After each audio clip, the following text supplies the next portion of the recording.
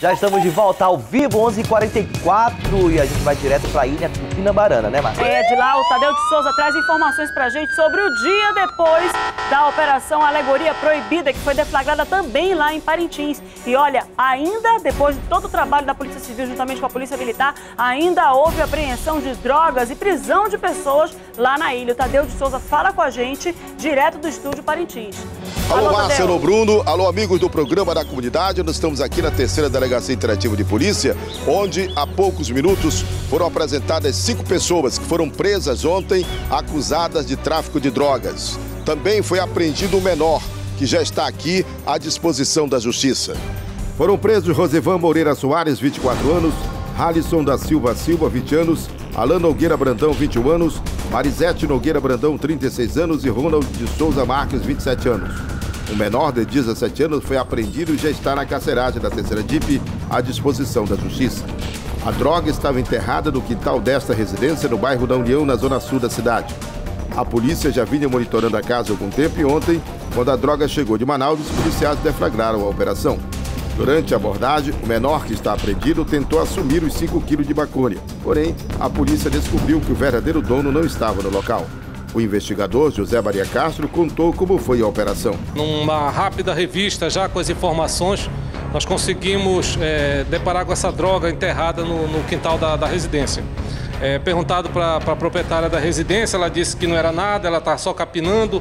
Aí depois, com outra história, isso quer dizer que ela está envolvida nessa situação dessa, desse entorpecente. Além dela, tem outras pessoas? Tinha mais ou menos umas seis pessoas dentro da casa, tá? Um jogando para cima do outro. Acabou que o menor, depois de uma conversa entre eles, queria assumir a droga, por ser menor. A, a, a situação agora está passando pela doutora Alessandra, que está assumindo a, a delegacia em lugar do doutor Adilson, que entrou de férias. Eles vão ser interrogados para saber quem é quem nessa história aí, como foi que essa droga entrou aqui na cidade e de onde ela veio. O detalhe é que esta apreensão de droga aconteceu um dia após a realização aqui em Parintins, Márcia e Bruno, da Operação Alegoria Proibida. De Parintins, Tadeu de Souza para o programa Agora. Tadeu Droga de Souza não enterrada. tá falando. Droga enterrada. A Tadeu de polícia Souza não lá tá e falando da, da- do distrito, tá falando do terceiro distrito interativo, né? Do terceiro departamento interativo de polícia lá de Parintins.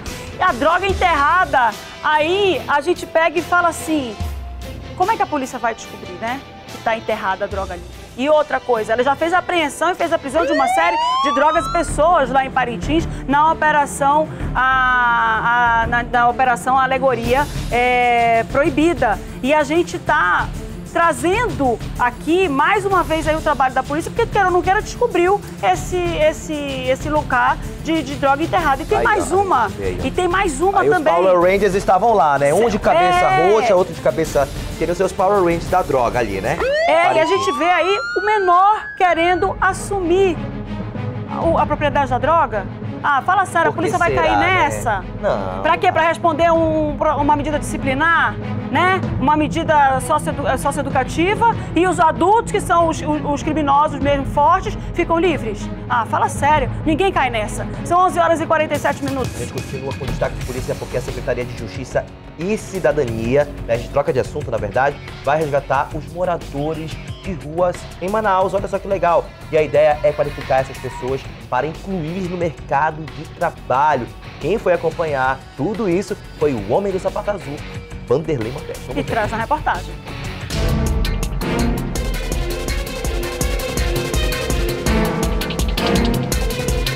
Agora, na comunidade, com Vanderlei Modesto, o homem do sapato azul.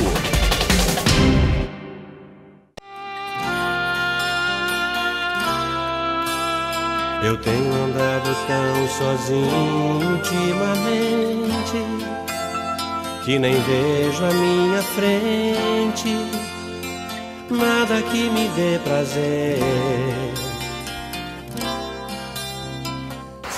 Quem são eles? Por que, que eles estão aqui? É o que você acompanha aqui no Agora, nessa reportagem que eu vou chamar de Desconhecidos. É comum encontrar pelas praças, embaixo das pontes, embaixo dos viadutos e nas ruas desse imenso Brasil de meu Deus, pessoas dormindo ao relento, entregues à própria sorte. Eles são chamados de moradores de rua. De acordo com a Secretaria de Justiça e Cidadania do Estado do Amazonas, 553 pessoas vivem nessas condições em Manaus, a maioria no centro da cidade. Nossa equipe saiu à procura dos moradores de rua na Grande Manaus. Nós estamos na Avenida Brasil, no bairro da Compensa, zona oeste de Manaus, bem em frente ao Palácio do Governo. Aqui nesse monumento, que significa uma balança.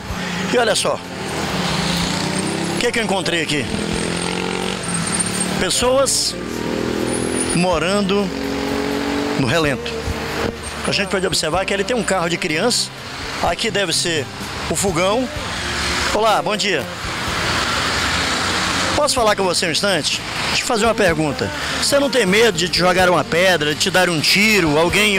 É. Você não tem medo? Tem não. Tem não. Porque é o seguinte, na Praça da Sé, é, em 2004, aconteceu uma tragédia lá que oito pessoas que moravam nas ruas é, foram é, mortas e sete ficaram feridas. Você não tem medo de sofrer um atentado aqui? Pai que eu não. Oi? Não. Não. Você mora com quem aqui? E que eu moro com quem? Eu moro sozinho.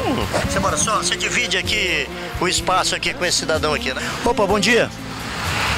Não precisa tirar o pano do rosto não, tá? Fala uma coisa. É...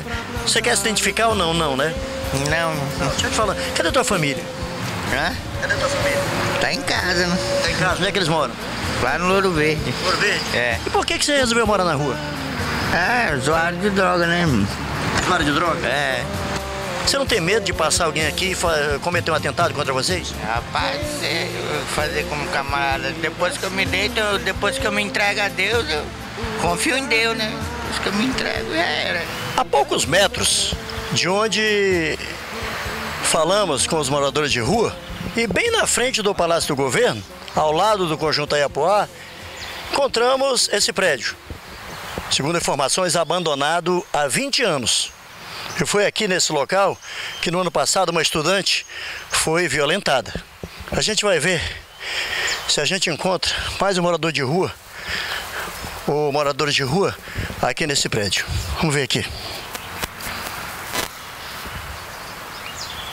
Olá. Oi. Bom dia. Tudo bem? Estamos na paz, estamos de bem, tá? Tudo tranquilo? Como é que é seu nome? Leonardo. Leonardo. Nonato? Nonato, por que, que você mora na rua, Nonato? Não, é. Foi uma coisa que aconteceu comigo isso. Como é que é? Uma coisa que aconteceu entre família. Uma coisa que aconteceu na família? Não precisa você olhar para lá. O que aconteceu na família foi? Foi. O que que foi que aconteceu? Família só e. Não quer falar, né? É, aconteceu entre família. Tá. Tanta gente sem ter onde morar. E esse prédio abandonado há 20 anos. Conforme eu disse no começo da reportagem, o prédio serve apenas para abrigo de vândalos marginais e de dependentes químicos. Diante desse perfil, a gente já vem traçando algumas ações que o governo do estado vai colocar em prática agora em 2018. Como, por exemplo, uma parceria com, as, com a SUAB para tentar disponibilizar um, um quantitativo de casas para as pessoas em situação de rua, né? a emissão de documentos também, né? que muitos não têm os seus documentos para serem inseridos no mercado de trabalho. Nós vamos iniciar também a retirada de documentos dessa população. né? Vamos estar eh, em reuniões com as empresas do distrito para que a gente possa dar prioridade para essas pessoas adentrarem novamente no mercado de trabalho, porque a maioria delas tem a capacidade técnica, no entanto, precisam de uma oportunidade. Né? Também estaremos em articulação com o CETAM para proporcionar um curso para a reciclagem dessa população dentro do que elas já vinham trabalhando antes de estar em situação de rua.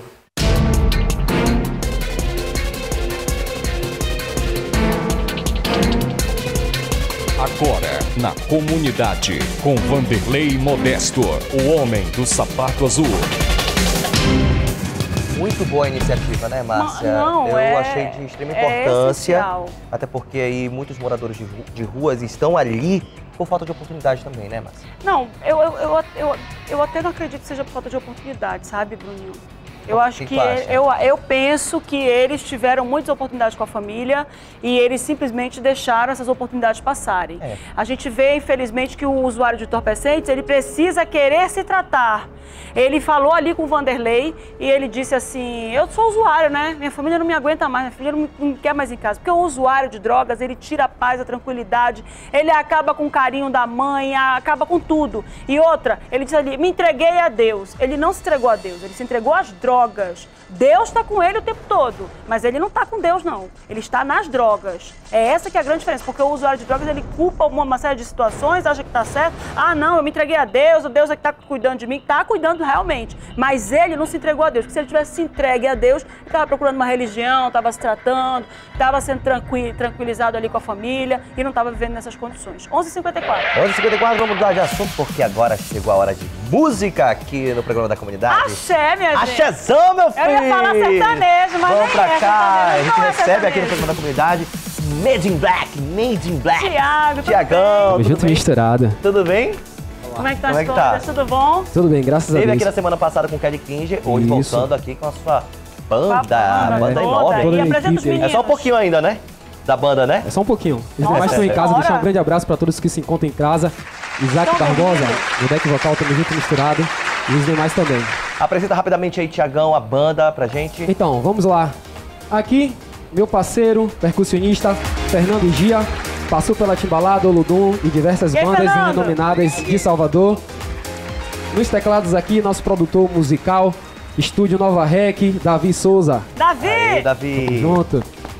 Meu irmãozinho, pelo cabelo você já tira, Eu, né? eu te confundi quando eu cheguei no estúdio. Fala, É. Tiagão. Não é o é? Pelo cabelo você já tira. André Cavaco. E André? Misturado. Nada mais, nada menos do que ele, Tic Teco, os irmãos MG, Madison e Marlon. Tico e. Teco! Quem é o Tico? Quem é o Quem é Teco? o Agora, Teco? Deixa agora. pra lá. É o Tico? Vamos cantar? Vamos cantar? Vamos de música, Tiagão? Direto Sim, da mano. Bahia, o Axé. homem veio pra Manaus e tá aqui, largando a Xé. Junto e Vai. misturado.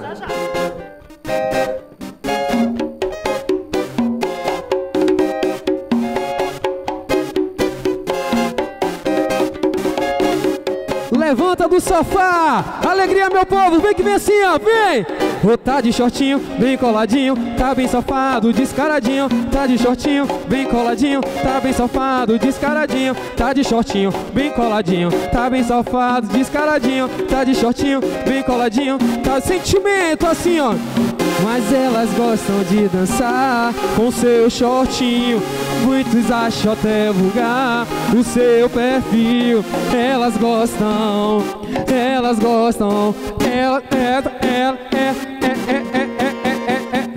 Não tô nem aí, tô a fim de olhar. Pupa da bunda, olha pupa da bunda, olha pupa da bunda, olha pupa da bunda, pupa da bunda, olha pupa da bunda, olha pupa da bunda, olha pupa, olha pupa da bunda, olha pupa da bunda, olha pupa da bunda, olha pupa da bunda, pupa da bunda, olha pupa da bunda, olha pupa. Show! Atenção, você que tá em casa, é o mais novo sucesso de Manaus. É TJ na parada e seu bonde. Isso aqui é Made in Black. Vem comigo assim. Ha, ha.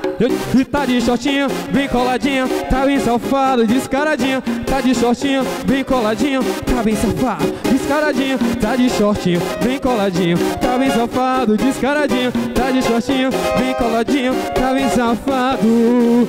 Mas elas gostam de dançar com seu shortinho, muitos acham até vulgar o seu perfil. Elas gostam, elas gostam, ela é, é. Atenção, Atlética Manaus! Não tô nem aí, tô a fim de olhar. Pupa da bunda, olha a pupa da bunda, olha a pupa da bunda, olha a pupa da bunda, olha a pupa da bunda, olha a pupa da Su, su, sucesso! Pupa da bunda, olha a pupa da bunda.